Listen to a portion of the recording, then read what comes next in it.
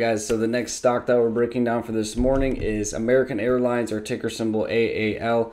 I have my lines and graphs already set, starting from a higher time frame, that being the daily interval, you guys. So let's go ahead and dive in. So yesterday we closed nearly down or up almost 5%. Uh, now pre-market, we're kind of down only 0.14%, so nothing really crazy, not even 1%, you guys. Um, let's look at our volume. So we're at 43,000. We want to see that at least above 150,000 before the market opens, which will be in another hour and a half. So you guys always want to keep that in mind, okay?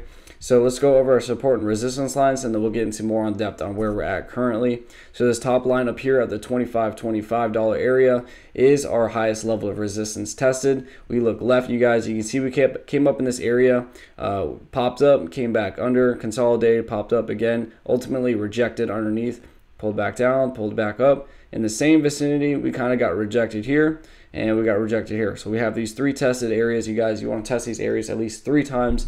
We look down here is our lowest level of support tested. And you see that the 24, uh, $20.42 area. So this will work as a support. So you can see we bounce from here, here, here, here, and over here. And over here, we kind of uh, created this breakout and gap up, which I'll get into right now. We can zoom in. So you can see that once we hit this support line, we kind of came under, we gapped down, gap back up, created this small little breakout, gapped up, and now uh, created another breakout which is right over here with between these candlesticks and these candlesticks. So we are technically in this upward trend now where, where we can see that on the trend line itself on the RSI it doesn't look like we're oversold not just yet. So we still have some room that we could be moving up to uh, so as of right now, I don't really see this as a bad buy. Uh, if you wanted to get in, I would have your at least your stop loss underneath the $20 area. So anything underneath these candlesticks, maybe at the $19 area. Uh, so if we do break back below, you'll be able to get tagged out and wait for a better entry. Uh, but as of right now, with us being in this upward trend, we're above the trend line. We have a gap up.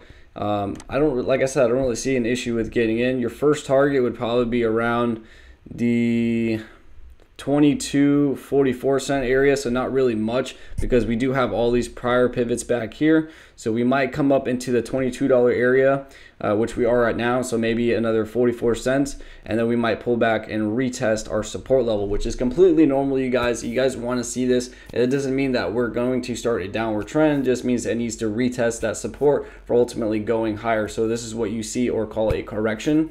Um, this may pump up higher, but like I said, you always have to keep in mind of all the the prior resistance that you have okay? So like i said your first target would probably be around the 22 44 cent area and if we do break above there then your second target would probably be around the 25 25 dollar area and uh, that'll be our highest level of resistance tested you guys. So as of right now i don't really see this as a bad buy. Like i said you want to have at least your stop loss underneath the 20 dollar area but other than that I like to make these videos really fast and efficiently, and if I helped you in any type of way, please hit that like and subscribe button. Allows me to create this content for you guys Monday through Friday or every other day. But other than that, you guys have a beautiful day and happy trading.